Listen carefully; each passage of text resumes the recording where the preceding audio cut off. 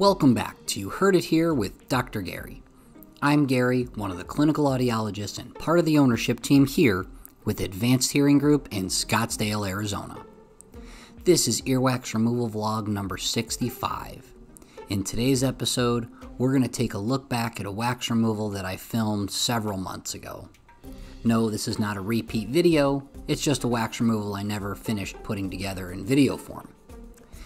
This earwax removal has a patient who is severely impacted and the earwax is very soft, meaning that the curette, the manual tool here, is going through it like a hot knife through butter and it's not really coalescing around the curette, allowing us to bring out in large chunks. We did talk to this patient about possibly using microsuction. They declined as they were a longtime patient who really enjoys seeing the manual tool work and they also like the feeling of irrigation.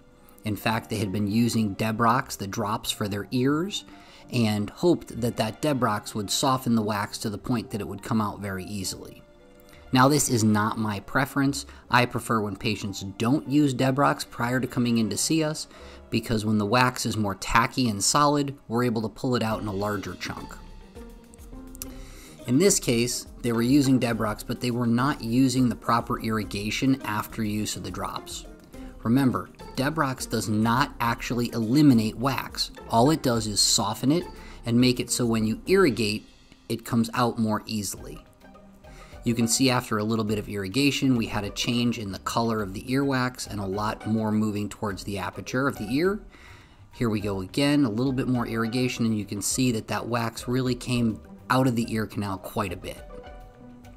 We're going to use the curette and try to get back behind as much of this as possible to get the ear cleaned out and relieve this patient's uh, fullness and pressure that they're experiencing.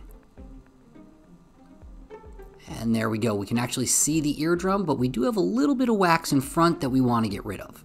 If you like these wax removal videos, please take a moment to like and subscribe. It really does help with the YouTube algorithm. And if you have any topics that you want to see in future videos, please leave them in the comment section below. All right, now we can take a look. We can see all the way down to the eardrum, and this patient's pressure and hearing loss have abated. This has been You Heard It Here with Dr. Gary. Thank you for watching. We'll see you in the next video.